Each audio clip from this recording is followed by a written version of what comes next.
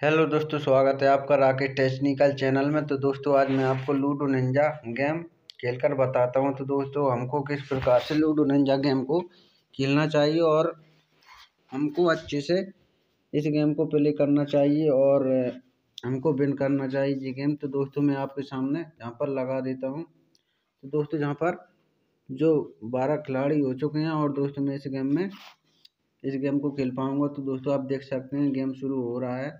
और दोस्तों, जहाँ पर आपको पता ही होगा, अगर आप पहले से इस गेम को खेल रहे हैं तो तो दोस्तों, इस बार में इस खेल में चौबीस चाल रहती हैं और इन चौबीस चालों में दोस्तों, हमको स्कोर मिलते हैं।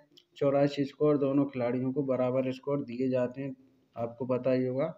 तो दोस्तों, जो हमारा स्कोर है, वो आपको नहीं लिखना जैसे कि हमारा थ्री आ गया तो दोस्तों, ये ऐसे टू आ गया तो जो आपको नहीं लिखना है और ये आपको लिखना है, जैसे कि सामने वाले का टू आ गया, इसको आपको लिखना है। क्योंकि दोस्तों, हमारा स्कोर हमको दिखाई दे रहा है और सामने वाले का स्कोर अभी हमको दिखाई नहीं दे रहा है। तो दोस्तों, सामने वाले का स्कोर हम जजमेंट लगा सकते हैं कि इसका क्या रह गया है। ऐसे इनका थ्री दो बार निकल गया है और दोस्तों, ये चार बार से अधिक नहीं आएगा। तो दोस्तों, इस प्रकार से हम इस गेम में जजमेंट लगा सकते हैं और अब क्या आने वाला है किस किस संभावना ज़्यादा है आने की तो दोस्तों हम इस प्रकार से इस प्रकार से दोस्तों हम समझ सकते हैं कि सामने वाले खिलाड़ी का क्या आ सकता है और क्या नहीं आ सकता है। तो दोस्तों इनका थ्री तीन बार निकल गया है और दोस्तों हमको दोनों गोटी, दोनों स्टार में बैठानी है और दोस्तों हमको एक गोटी सामने वाले खिलाड़ी के स्टार में ले जाना है। जैसे कि दोस्तों जहाँ पर अगर सामने वाला खिलाड़ी जहाँ पर करने की कोशिश करता है तो दोस्तों जहाँ पर उसकी गोटी कटने की संभावना ज़्यादा रहती है। तो दोस्तों, बने रहिए आप हमारी वीडियो में।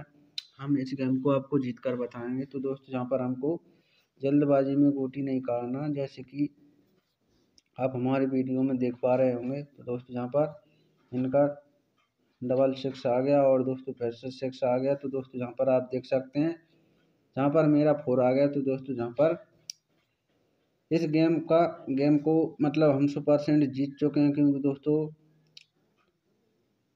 जो खिलाड़ी है तो दोस्तों जहाँ पर इनको दो स्कोर की कसर रह जाएगी होम होने में। तो दोस्तों अब हमको होम होने के लिए बिल्कुल नहीं जाना है।